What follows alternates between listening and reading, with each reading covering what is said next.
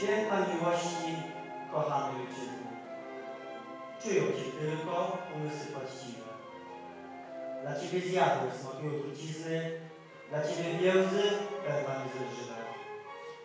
Kształcisz kalectwo, przez palerne blizny, gnieździsz w umyśle rozkosze prawdziwe. Byle cię można wspomóc, byle wspierać, nie żal żyć w nędzy, nie żal i umierać.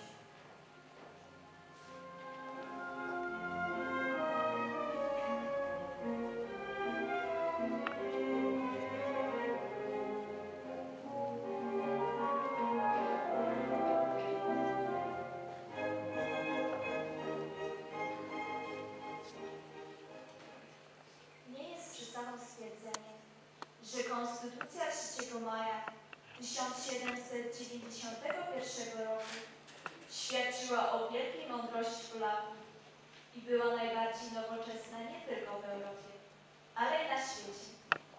Dawała początek wielkim reformom i stanowiła o odnowie duchowej narodu polskiego.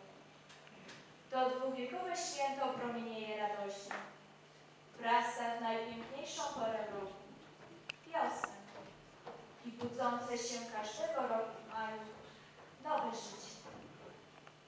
Przenieśmy się teraz do domu Pana Podkomorzego, którego syn jest posłem biorącym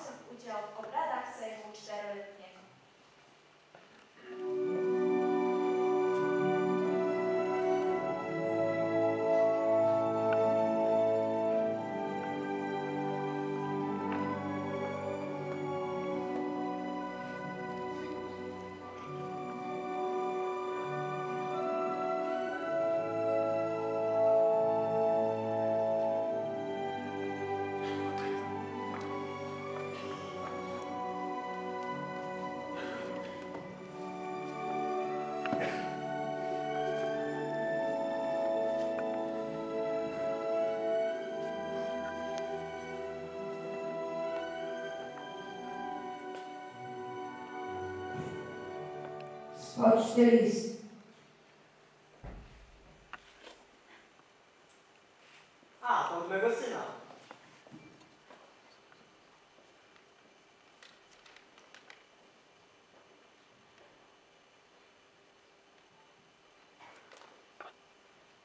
Chwalebna ich praca zawieszona na chwilę i syn mój powraca. Jaka szczęśliwa. Dawno już po nim tęskniłem. Ja mnie tęskni, gdy zawieście mi rządowi. Dom zawsze ustępować powinien krajowi. W nieprzytomności jego cieszyły mnie wieści, że się wśród tych cnotliwych mężów synu mieści, to z przemocy i hańby kraj nasz wydobyli. Niedługo się tym wszystkim będziemy cieszyli.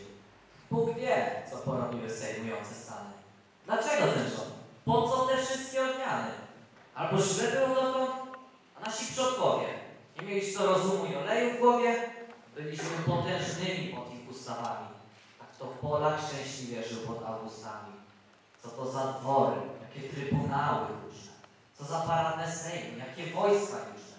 Człowiek jadł, pił, nic nie robił i suto w kieszeni. Dziś się wszystko zmieniło i bardziej się zmieni. Zepsuli wszystko. Tknąć się śmieli okrutnicy liberum veto. To wolności. Ten to nieszczęsny mierzą, to Sejmu zrywanie kraj zgubiło. Ściągnęło to panowanie. Te zaborów, te srogich klęsk naszych przyczyną. I my sami byliśmy nieszyć naszych winą. W nieodbytkach, lenistwie i bieżach zwyczaju myśleliśmy o sobie, a nigdy o kraju.